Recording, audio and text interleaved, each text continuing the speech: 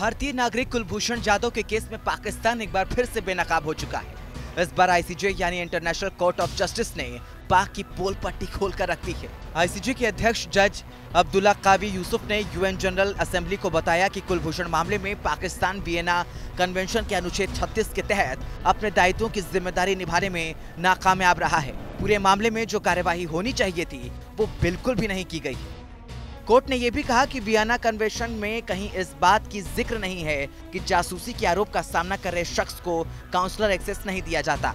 Court ने कहा कि इसलिए पाकिस्तान को हर हाल में कुलभूषण जाधव मामले में काउंसलर एक्सेस देना चाहिए था। ये साफ़ तौर पर अनुच्छेद 36 का उल्लंघन। है गौरतलब है कि कुलभूषण जाधव को अप्रैल 2017 में जासूसी और आतंकवाद के आरोप में पाकिस्तानी सैन्य अदालत ने मौत की सजा सुनाई थी। अब्दुल कावी अहमद यूसुफ की अध्यक्षता वाली बेंच ने ही इस मामले में सजा पर पुनर्विचार करने का फैसला सुनाया था।